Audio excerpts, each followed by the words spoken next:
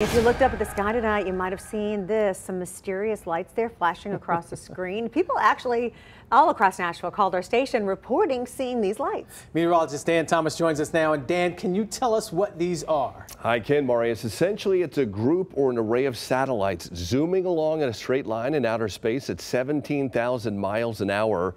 And the sole purpose of them is to provide internet at a low cost to remote areas of the world. Now, they're owned by SpaceX. And last night, the SpaceX Falcon rocket launched 48 of these into outer space. So it's possible the group you're seeing right there on the video is that same 48 that went to orbit last night.